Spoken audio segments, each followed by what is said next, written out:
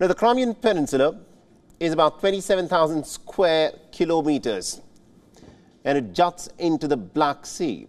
A year into the war, the region has time and again become a battleground. The peninsula, of course, reminds Ukraine of the land that it lost to Russian annexation in 2014. But for Russia, Crimea is strategically important because it provides Moscow with its only access to a warm water port. On Saturday, the peninsula woke up to a massive fire that was reported at Sevastopol. And immediately in the aftermath of that, what was suspected was a drone strike. And it was then being reported that a drone strike had hit a fuel storage tank, which resulted in this huge fire.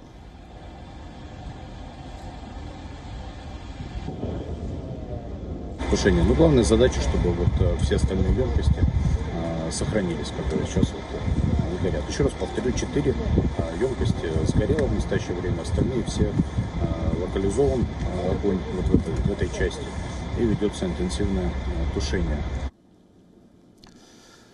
The Moscow installed governor has confirmed that the fire has been extinguished at this moment. Meanwhile, Russia also claims that Ukraine resorted to shelling five Russian villages. Power lines been damaged no casualties have been reported. Now, these attacks have come at a time when Ukraine has declared that it is ready for a spring counteroffensive. Now, remember, Ukraine's spring counteroffensive is an operation that has been in the works for a pretty long time. The Pentagon documents that were leaked has hinted at a similar strategy. Now, if the Pentagon papers that got leaked are to be believed, then the offensive is expected to start on the 30th of April, that is in some hours from now. Now, like most war strategies, Ukraine is not keeping its cards close to the chest because Pentagon quite clearly seems to know what Ukraine's strategy is. And when the Pentagon papers leaked, Ukraine's strategy appears to have been leaked as well. Підготовка вона йде, люди готові до дій, вони хочуть все це. Йде, ну, йдуть навчання. Я думаю, що в кратчайші сроки вони будуть готові до виконання будь-яких завдань. Now remember, Kiev managed to make some pretty swift gains through the second half of 2022 after it had lost a lot of territory. But then, its forces have not been able to make much of a headway in the last five months. What this has done is Russia has managed to hold on to the gains that it has made and at this moment as we speak, Russia controls nearly about 20% of Ukraine's territory. But the war at this moment is poised at a pretty critical juncture. Ukrainian troops have been training hard at Western bases.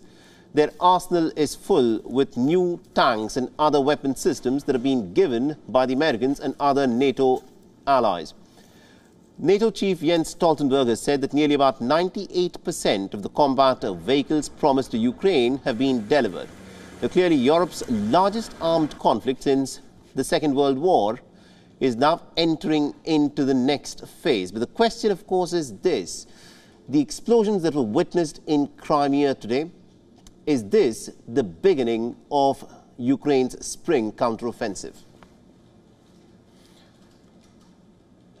And to try and give us more perspective on this, we're being joined by Vadim Turkhan, who's joining us live from Kiev. He's a former diplomat. Now, Mr. Turkhan, thank you very much indeed for joining us here on WION. The question that I want to ask you is what a lot of people are asking at this moment. We saw the scenes that have been unfolding at the Crimean Peninsula at Sevastopol, where, according to reports, a drone strike resulted in a massive fire at what is being reported to be a fuel depot. And also what is being reported is that this was done to try and target the fuel supplies for Russia's naval fleet stationed at Sevastopol. Is that what has happened today? Sally, hello India. This is my pleasure to be again in your broadcast. Uh, you are asking very good questions. Thank you for this. First of all, what is going on in uh, Ukraine on our, let's say, battlefields against Russia? Uh, Ukraine wants um, uh, to return its territories. Ukraine wants to uh, return its people. And it's a matter of principle to organize this, um, like you called it, spring counter-offensive or counter-attack, in order to kick out from our territory Russian troops. Uh, just two days ago, Russian missiles hit um, several our um, civilian big cities: Nikolai, Nikolaev, uh, Uman in Cherkasy region, and Dnieper. Uh, all those three regions, uh, unfortunately, were under attack of Russian Federation, and uh, many civilians were killed, including, uh, if I'm not mistaken, six um, uh, children.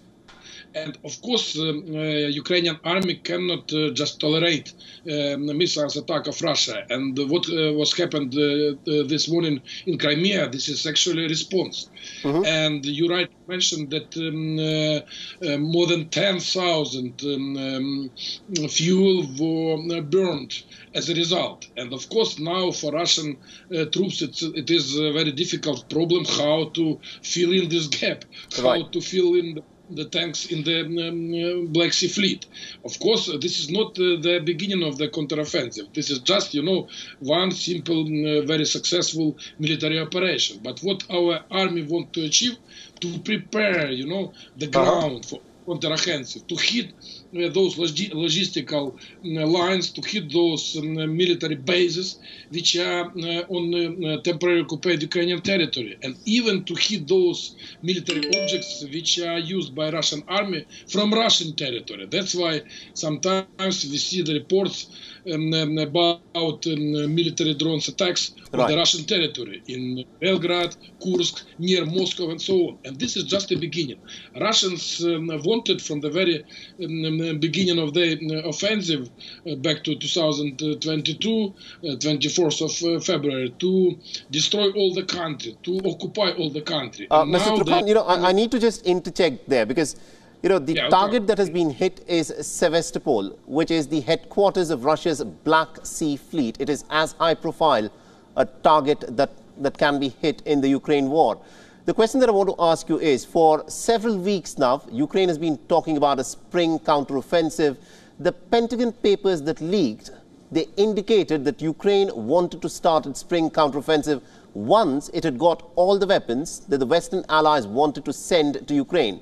Now, Jens Stoltenberg, the chief of the NATO military alliance, he of course has said that the NATO nations have transferred nearly about 98% of all the weapon systems to Ukraine. So what we are looking at in Sevastopol, is this the beginning of Ukraine's counteroffensive? No, no, sorry, let's be honest.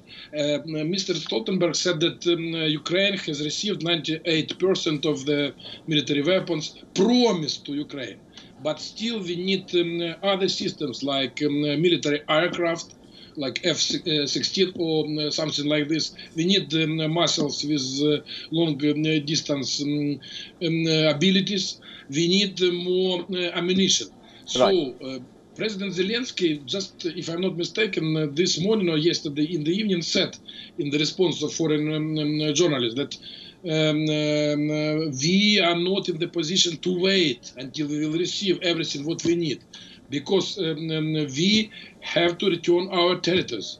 All That's right. why soon we will start counter-offensive. As a um, high uh, commander, he has a right to make a decision, and his decision um, will be published soon, I think. We don't know whether the counteroffensive will start tomorrow, in one week, or in one month, or I don't know mm-hmm. in what time. But when uh, our military forces are prepared, then they will um, start. And where, uh, where they will go, in Crimea Peninsula, in um, they will be uh, heading to Donetsk, to Lugansk, or to Mariupol or other cities we don't know because you know right. uh, the effect of uh, unexpectedly um, absolutely indeed. It is difficult. I, I, agree with you Mr. Turkhan it is difficult to predict you know as to where fighting could intensify. Thank you very much indeed sir for joining us all the way from Kiev in this very difficult moment for the Ukrainian people and sharing us with us as to what is happening at this moment but what is happening at this moment as we speak in Crimea, a very high-profile target, of course, is being hit by the Ukrainian forces. Ukraine does not officially take responsibility for attacks such as this, but all indicators point out that this drone strike that has targeted the fuel depot at Sevastopol, which is the headquarters of the Russian Black Sea Fleet, was something that was carried out by Ukraine. Thank you very much indeed, Mr. Turkhan, for joining us from Kiev. Thank you. Bye-bye. WION is now available in your country. Download the app now and get all the news on the move.